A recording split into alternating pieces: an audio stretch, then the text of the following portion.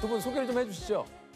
개그 듀오는 모르겠지만 아무튼 네, 저희 약간 유일한 듀- 듀오라고 소개를 할까 봐 앞으로. 어, 어. 네, 유일한 네, 여성 듀오 리더 이해리입니다.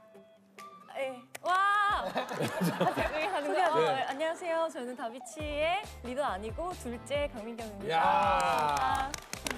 어, 저희가 이제 두 사람 특집을 준비를 하면서 다비치를 좀 섭외를 했는데 네, 아, 유퀴즈 섭외를 누가 먼저 들으셨어요? 같이 들었어요. 같이 아 진짜 같이 아. 기획 소속사에서 네, 네. 어떠셨습니까? 유키즈에서 좀 섭외가 왔다는 얘기를 들었어요. 아 일단 이건 무조건 이건 무조건 두 사람 특집이라고 하니까 뭐, 뭐 어. 이상한 특집이면 네. 아, 이상한 특집이 아니라 뭐 예를 들면은 좀 다른 좀더 다른 저희의 결과 좀 다른 특집이라면 고민을 해봤을 법도 한데 네. 두 사람 특집이라고 하니까 이거는 뭐 어. 어, 이거는 딱이다. 해야 돼. 아, 혹시 그러면 두 분도 유퀴즈를 좀 즐겨 보시는 편이셨나요? 아, 너무 그럼요. 네네네. 음. 네.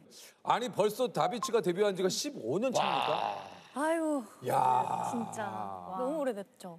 다비치가 2008년에 미워도 사랑하니까라는 노래로 데뷔를 했는데 야 근데 그 2008년이 여러분 그 기억하시는지 모르겠습니다만 뭐 거의 소위 말해서 우리 표현으로 박 터지는 예, 그런 엄청난 초대박 노래들이 굉장히 많이 나온 해가 2008년입니다.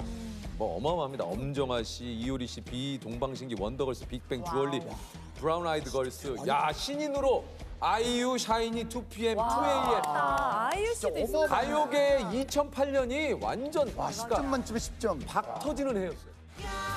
Hey, you go girl.